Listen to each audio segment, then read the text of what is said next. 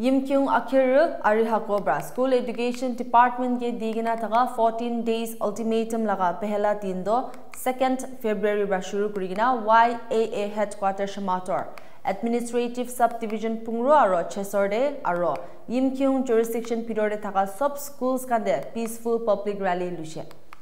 Rally de Yimkyung Tribal Council Yimkyung Women's Organization Pungro Area College Union Yimkyung Youth Organization, Shamator Town Public Forum para leaders kan, village aro town councils officials, YAA Federating Units, students aro hazar upor chanda kan hisa luigina, YAA ge support tikaishen.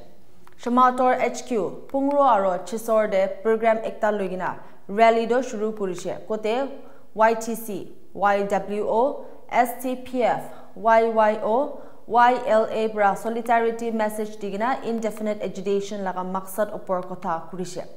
participants kan ba placards kan turigina administrative office se march kurise aro pichide principal director directorate of school education ge memorandum submit kurise YAA bra memorandum de yimkyung jurisdiction de immediately teachers laga deployment mang kurise aro chudi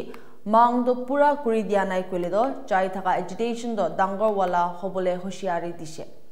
indefinite education যে আছে আমাৰ জুৰিষ্টিকশ্যন ভিতৰতে চৰকাৰ অফিচেছ কাৰণ চব বন্ধ থাকিব আৰু এইটোহে নহয় কিনা একটা বি ফাংচন নকৰিব except N S T administration home police paramilitary আৰু মেডিকেল ডিপাৰ্টমেণ্টছ খানহি খোলা থাকিব এইটো একলা নহয় কিনা স্কুলছ খান বি চব বন্ধ থাকিব আৰু খালি এইচ এছ এল চি আৰু H S S L C related classes আৰু এক্সাম চেণ্টাৰ্ছ খানহি দিবলৈ জনাইছে